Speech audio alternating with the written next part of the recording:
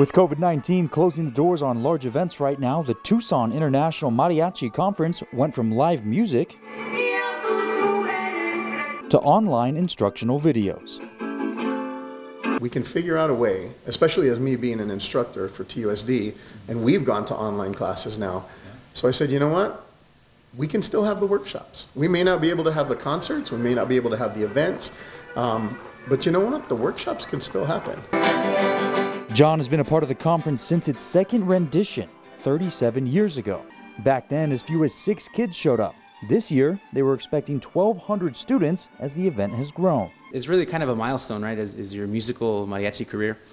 And so for that to be taken away from them, it's kind of like yanking something special out of your hands. John and Adrian both serve on the board and helped figure out how to at least provide the student instruction aspect online. There was three, four of us that literally sat down and said, all right, let's put a plan to this and let's make this happen for the students.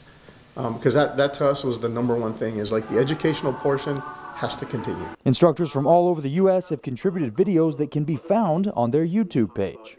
For this piece, uh, this is the way they'll be played, and I have. They wanted to do something to make sure the conference made its 38th debut, because, according to Adrian, this is one of the crown jewels of the year for mariachi enthusiasts. It's one of the events probably that's been around the longest, that has a lot of value in terms of culture and tradition, uh, specifically for the Latinos here in town, uh, which obviously make up a large percentage of Tucson.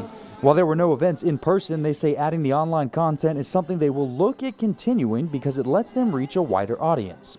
For more information, head to our website, kvoa.com. We've got you covered. Mark Mangura, News 4 Tucson.